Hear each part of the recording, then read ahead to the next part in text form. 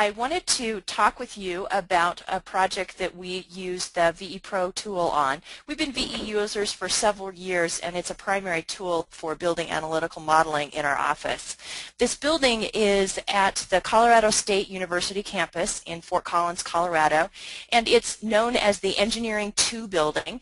It has a bioengineering research facility, a classroom, and also a data center. And we've been working with this project since the beginning of programming even. Most of this work occurred in 2011 that I'll be showing you today, and that is the analysis that we have. So this view of the building is a view from the northwest. The building is on the north edge of the campus, and it has a basement mechanical system and it also has a penthouse, which is the top block on the roof that's closest to us, where air comes into the building and is pre-treated. Just to the south of that, you can see the exhaust for the fume hoods for the building. And also located in that data center, or in that penthouse, is a data center. And I wanted to also point out between the two bars of the building is the atrium. It's covered a little bit in this view by the roof. Uh, that rooftop geography is very important to the project. There's a lot going on in that. There's also smoke exhaust for the atrium located there. And around the atrium under that uh, roof is a clerestory on the south, east, and west of that. And I wanted to point that out just so that you get a feel for what the building is on the exterior as we move on to take a look inside.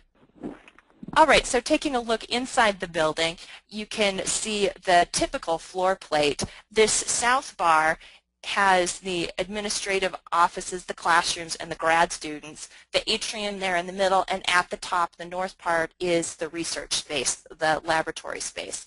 So most of our analysis that we're going to show here today is focused on this atrium, and we're mostly going to be viewing it from the uh, east direction or from the right-hand side of this picture. And the atrium is an interesting space for this building. It's going to have 24-7 potential occupancy as grad students come and go to do their studies and to take care of the research projects. And it's meant to feel comfortable and homey, to be that home away from home for these students. And um, while the mechanical equipment and the other technologies that are built into the building won't be accessible to the people accessing the building on a day-to-day -day basis, the experience of a low-carbon, uh, high-efficient, well-performing building is really meant to be direct in the atrium itself, a, a place to experience views and daylight and also natural ventilation in a very comfortable space. So moving on to what the atrium is going to look like in a rendering, this rendering is courtesy of Slater Paull Architects and their partner Ratio Architects. And you can see this is a view from the east and we're looking up towards the grand staircase so you can see the main level and then two more levels where building occupants are going to have access in the atrium. And you can see that clerestory and some of the daylight features that are around the space. So here's some of the daylight analysis that we did. This is early in schematic design, and we were doing a proof of concept. This is definitely a facilities staff that is very involved in the design of their facilities. And I think, this is my words, not there, but they live by the mantra of uh, sustainable means it's also maintainable. So one of the things that we were doing with this daylight analysis was not only to get a feel for what it would look like, but to test proof of concepts of skylights versus tubular daylight devices, make sure that it had the architectural treatment that we wanted, and also to address potential maintenance concerns for the amount of roof penetrations and the potential for people inside the space to see debris on the roof or whether it would create another requirement for maintenance on the roof that was not desired. As it was, we went with the skylight scenario, which is the image on the left-hand side, which was shown to have better daylight performance overall. So moving on into the natural ventilation portion of our analysis, we looked at the wind resource, looking here at the wind rose. You can see that the wind direction comes from a variety of directions and that we were going to be using uh, buoyancy predominantly rather than wind-driven data. And obviously anyone who has looked in these data sets knows that the trick is to find uh, wind data that is relevant for your site and we worked awfully hard to do that. We ended up using the TMY3 data for Fort Collins thinking that that was representative, especially since the project was going to be more of a buoyancy than wind-driven natural ventilation type project. So here is a picture as our building was imported from Revit. And I wanted to point out that this was a perfect import. Uh, when the architects understood the small addition in steps required to have a good GBXML transport into IESVE, they were able to easily incorporate those steps. And we had a completely successful import into IESVE, which shows that um, it's very attainable to do this process with the BIM benefits for all of us. The areas that are circled are the operable window openings. So we have operable windows on the first floor and also at the very top of the atrium on both the east and the west side of the building. And we were looking at the amount of area for those operable windows compared to the air movement that would be available. So looking at some of the MacroFlo results, uh, we were looking at the bulk airflow movement driven by either wind or by buoyancy-induced pressures. And the east-west opening showed the results that we were hoping to see, that it, we did get a buoyancy-driven wind effect that was very effective. So we did not have any fan assistance for these results.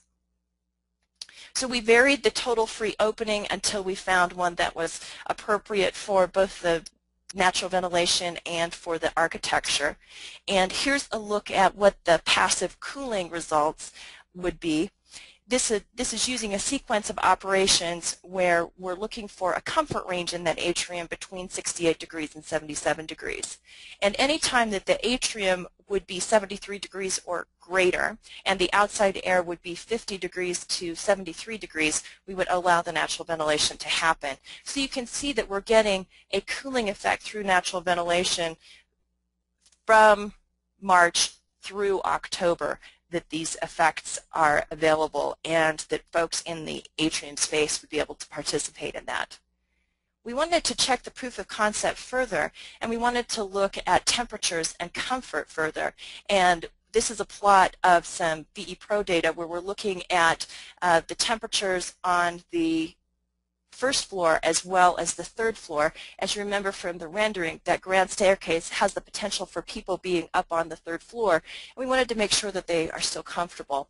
So you can see here the temperatures varying through the day during the month of June and that the red line, the third floor line, is higher than the green first floor line with a maximum of 78 degrees, which we felt was appropriate for a proof of, of concept and still being inside that comfort range. And here is what the amount of air looks like for that same time period in June.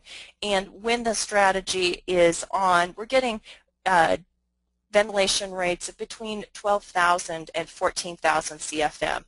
And these results were very helpful for Colorado State University to say yes to moving forward with this strategy, which we are just delighted in. So they were going to have the operable windows on the automatic controls for the atrium space.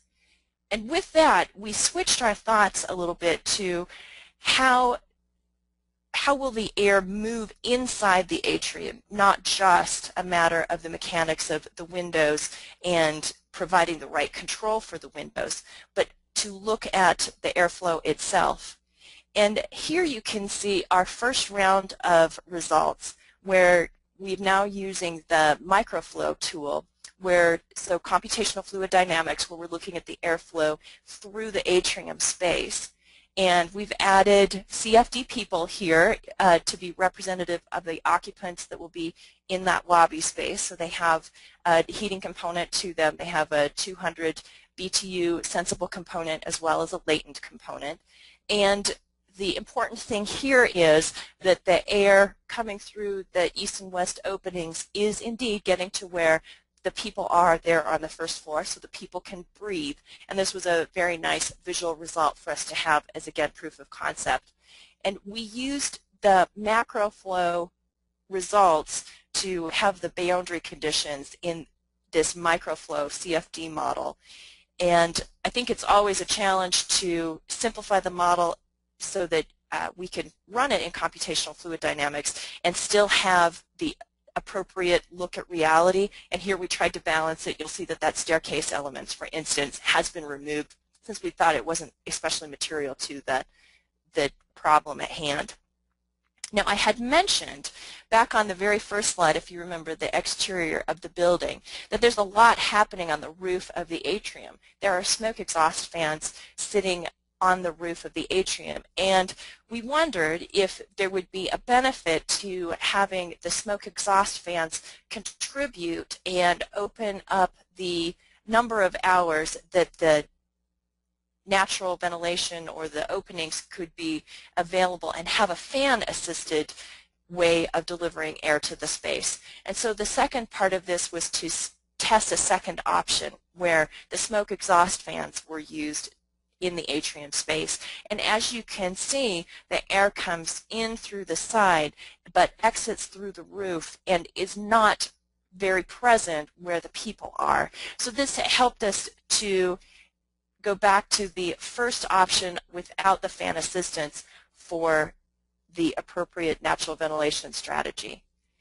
And with that, that concludes that look at uh, daylight and natural ventilation for the Colorado State University Engineering 2 building.